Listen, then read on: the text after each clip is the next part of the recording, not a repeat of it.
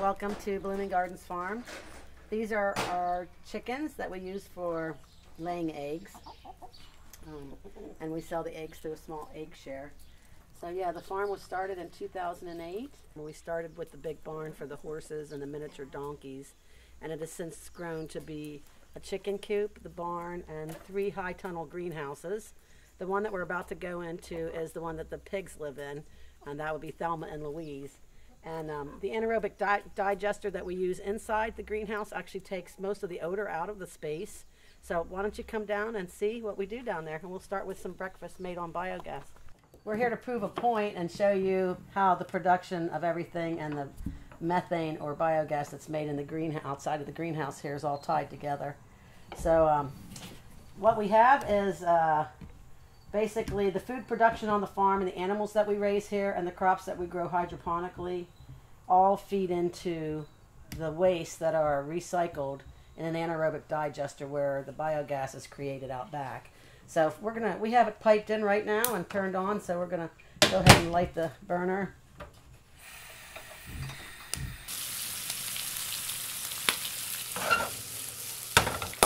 Woo! Yeah, how about it? There you go, Ronnie.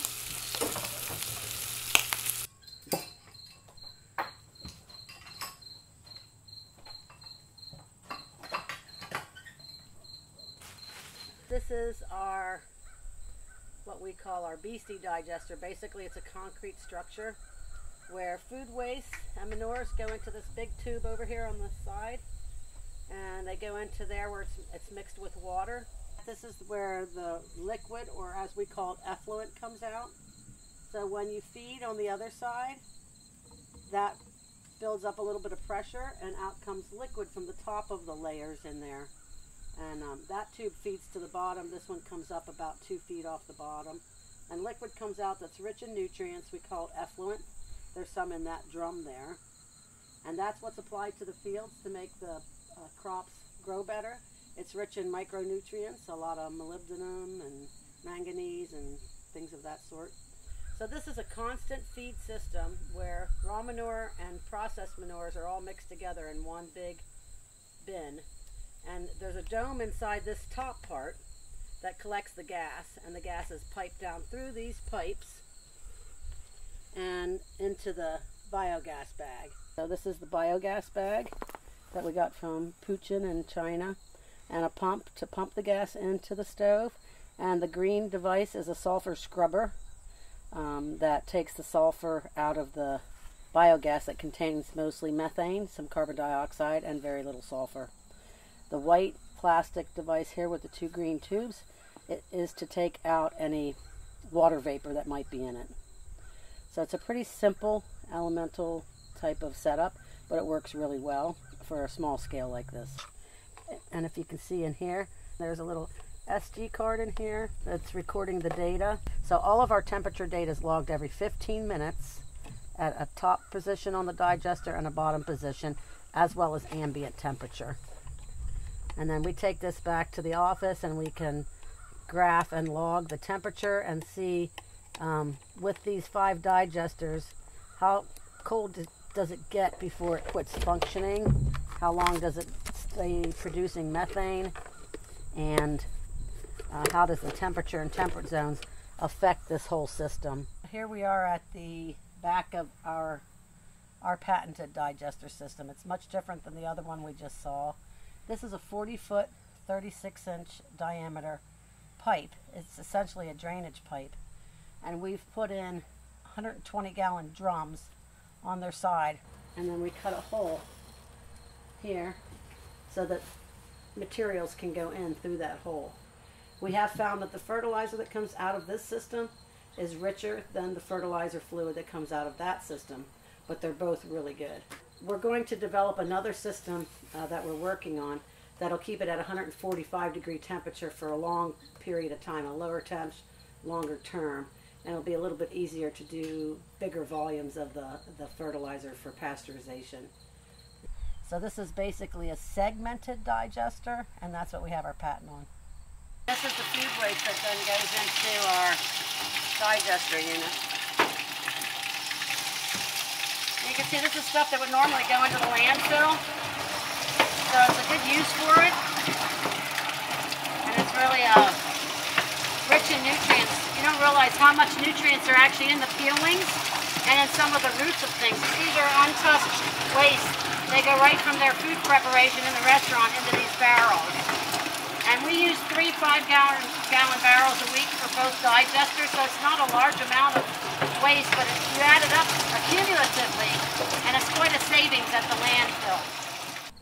Our goal is to set this up, the system that we have here. We're going to put this copper tubing inside this 55 gallon drum. And then this is an on-demand hot water heater from China. And again, we just don't have them in the United States yet. But basically, biogas comes in the bottom, it's burnt, and it will circulate uh, a like an antifreeze um, cyst, uh, fluid that runs through these tubes. So it'll run through the bottom of this barrel, and we'll put the fertilizer in here, and we'll keep this at a longer time, uh, retention time, at a lower temperature to pasteurize um, the fertilizer fluid, the base fertilizer fluid that we want to use. So that's the goals for the future. This is our what we call our belly digester because it's similar to the intestines of the human gut. And we have an inlet that would uh, uh, kind of be like the throat. We incinerate the food waste, so we get food waste from the local Boxer's restaurant in Huntington, and that is poured into this hole. The pigs that live inside this pen here to our left um, will their um, their feces comes in here down this chute goes into this cap, the covered hole here, and it goes into this long tube into those drums that we talked about. So we put food waste, bagels, and farm manures in here. And that's what creates the effluent and also creates the methane gas, some of the biogas that comes out of it. This long tube has collection pipes that come off of it so that we can get samples for pH testing, for nutrient testing, and for temperature. So we are in the high tunnel where we ran some preliminary trials this year to test the efficiency of the nutrient uh, fluid that comes out of the digester. These trials were all run with our patented belly digester system. And this basil here that you're seeing now had no applications of any uh, effluent fertilizer whatsoever. It was grown up harvested and weighed, and then it was chopped off at about two inches above the soil. This one over here had only one application of fertilizer at a dilution of 40 to 1. And the top growth was 40% greater than the basil that you saw a minute ago. And after we cut this also off at the same day and same time, this one was cut the same distance above the soil and they've been now allowed to grow for three weeks without anything. So this is all only one application of the what we call root stimulator fluid. And the growth you can see is amazingly different. Pretty amazing what one application did for uh, root stimulation. It's particularly really good for leafy greens, things like basil, kale, lettuces, collards. So we focused on those, and we also ran some trials on peppers and tomatoes this year. Um, as well.